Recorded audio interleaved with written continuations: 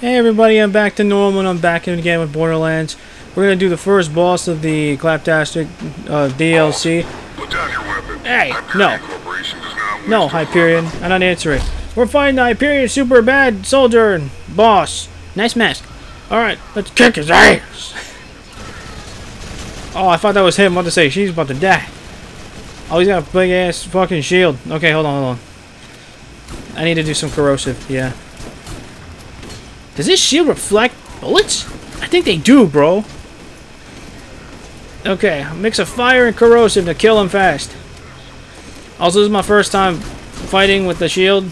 No, first time fighting against him with a shotgun. And he's down. Yeah, baby. Alright, more bosses coming soon. Yeah, I decided to do this DLC now just because I wanted to do more Borderlands stuff. And I'm working on some other stuff. Alright, later.